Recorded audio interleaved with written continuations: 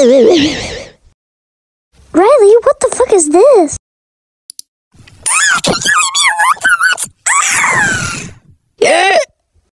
Andrew, what the fuck?